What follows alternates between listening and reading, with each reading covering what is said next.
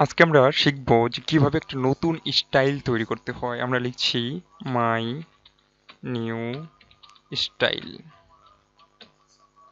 তো এটাকে আমি কপি করে নিচ্ছি। এটাকে আমরা একটা স্টাইল দিব, এটাকে সিলেক্ট করে এখান থেকে ফন্ট এই একটা ফন্ট দিলাম। নো আরও ভালো একটা ফন্ট দিই। শেষের দিকে একটা ফন্ট দিলাম। ফন্ট দিয়ে ফন্ট সাইজটাকে একটু বড় করে দিই। আঠারো দিলাম। ফন্ট কালারটা এখান থেকে এটা শো করাচ্ছে না।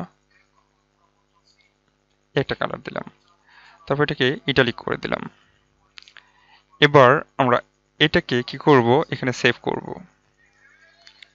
ক্রিয়েট নিউ স্টাইল এই যে স্টাইল ওয়ান এই জায়গায় আমরা লিখে দিলাম মাই নিউ স্টাইল এই নামটা আমরা এখানে লিখে দিলাম।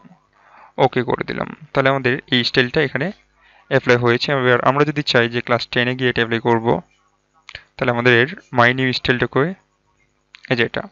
এটাতে ক্লিক করে দিলাম ক্লাস টেনে class three okay class two এটাতে যা অ্যাপ্লাই করলাম। এটাতে যা অ্যাপ্লাই করলাম। একইভাবে আমরা এখন এটাকে মডিফাই করব। মূলত আমাদের যে স্টাইল সেকশনটা আমরা ব্যবহার করব, এটা সুবিধা কি? আমরা এটা জানার জন্য কিন্তু শিখতেছি।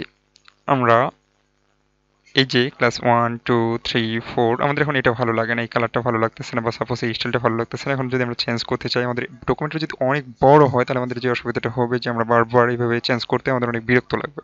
তো আমরা স্টাইলের এই সেকশনে গিয়ে এটাকে যাই মডিফাই করব মডিফাই করে এটার কালারটাকে চেঞ্জ করে দিলাম সাপোজ এই একটা কালার দিলাম। তারপর ফন্টের যে নাম, সেটা আমি চেঞ্জ করে অন্য একটা ফন্ট দিয়ে দিচ্ছি। এখান থেকে এরিয়াল ব্ল্যাক দিয়ে দিচ্ছি। এবার ফন্ট সাইজ কমাই দিচ্ছি। বোল্ড করে দিচ্ছি। ওকে আমাদের সবকটা একসাথে চেঞ্জ হয়ে গেছে। এই হচ্ছে সুবিধা। আমরা যদি এই হিডিংগুলো ব্যবহার করি, তাহলে হিডিংগুলোকে আমরা মডিফাই করার সাথে সাথে যতগুলো হিডিং আমরা ওই হিডিংয়ের নামে ব্যবহার করেছি, সবকটা একসাথে চেঞ্জ হয়ে যাবে। Thank you